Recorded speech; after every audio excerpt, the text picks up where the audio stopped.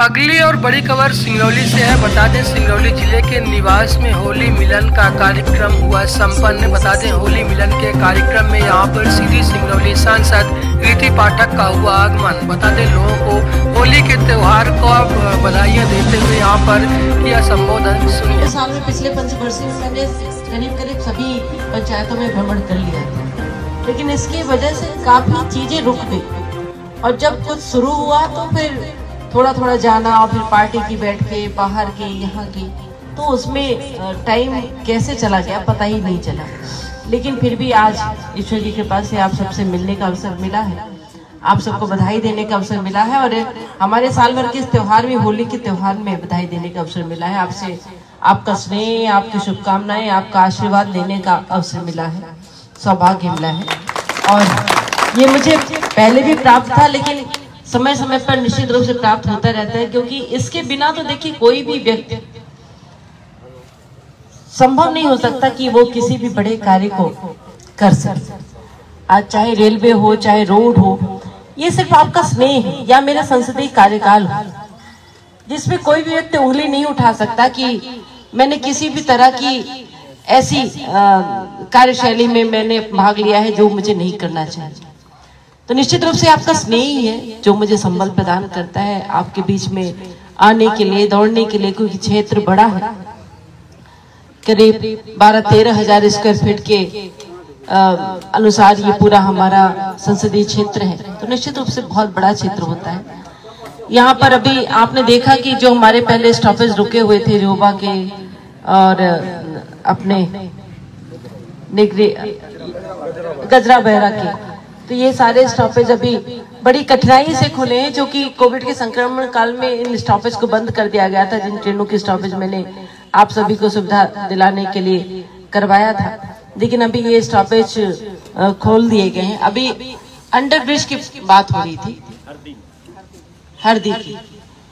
तो कई under bridge अभी स्वीकृत हैं और पास होने की स्थिति में है। तो उसमें मैं प्रयास करूँगी कि हरदी भी उसमें से जुड़ जाए। जो प्राथमिकता में अंडरब्रिज लिए जा रहे हैं। और फुट ओवर ब्रिज भी है जिनमें से। और लगातार चूँकि ये विषय थोड़ा सा कठिन हो गया था, पहले केंद्र सरकार ने कहा कि हम सौ प्रतिशत पैसा देंगे। फिर राज्य सरकार ने कहा कि पचास प्रतिशत राज्य सरकार, पचास प्रतिशत केंद्र सरकार। लेकिन अब अब धीरे धीरे आपको कठिनाई थोड़ी सी दूर हुई है। कुछ अंडरब्रिज और ओवरब्रिज पास होने की स्थिति में है।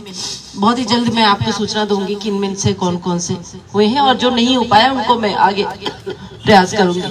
आपने आज फिर नई मांग रख दी है। मेरा निवेदन यह है कि चुनाव अभी सामने है। अभी जो चीज़ें हमें प्राप्त हुई हैं, पहले हम अभी उसको स्वीकार करें। और मांगों का तो अंत नहीं है।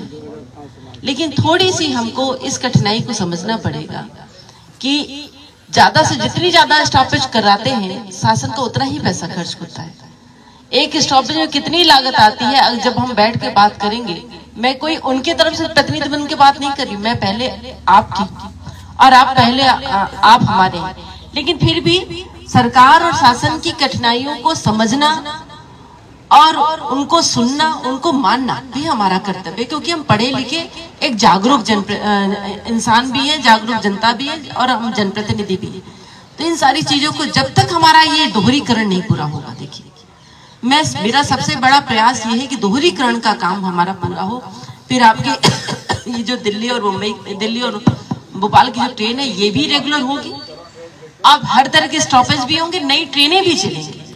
तो इसलिए सबसे बड़ा उद्देश्य हमारा ये है कि दोहरीकरण का काम, जिसमें अभी कुछ कठिनाइयाँ थी संजय टाइगर रिज़र्व वाले उसमें एनओसी देने की तो अभी हमने बैठकर रेलवे डिपार्टमेंट से वो अलाइनमेंट ही चेंज करवाया है कि हम अंदर से लेकर नहीं जाएँगे, हम बाहर से लेकर जाएँगे।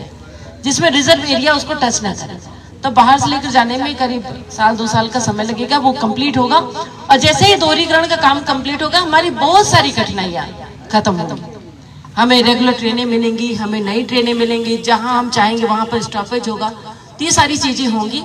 लेकिन अभी जिन कठिनाइयों को दूर करके हमने जनता को सौगात दिया, उसको स्वीकार किया जाए। आगे आने वाले समय में भी जो कुछ सौगातें और भी मिलने वाली हैं, उसको बहुत जल्द बताऊँगी, जो कि कल डीआरएम साहब ने से मेरी बात हुई थी कुछ नोटिफिकेशन भेजा है उन्होंने। मैं उसमें देख कर समझ कर मैं बात करती हूँ चूँकि अभी मैं पढ़ नहीं पाई हूँ और नेटवर्क भी नहीं है। तो बहुत जल्दी सौगात मिलेगी और जो जो मांगे आपने की है निश्चित रूप से सांसद के रूप में मैं क्या कर सकती हूँ मेरा कर्तव्य क्या है तो निश्चित रूप से आपको मुझे नहीं लगता कि आ, किसी भी तरह की मुझसे शिकायत होगी। जो मेरा कर्तव्य है वो मैं कर रही हूँ आगे आने वाले समय में करूँगी।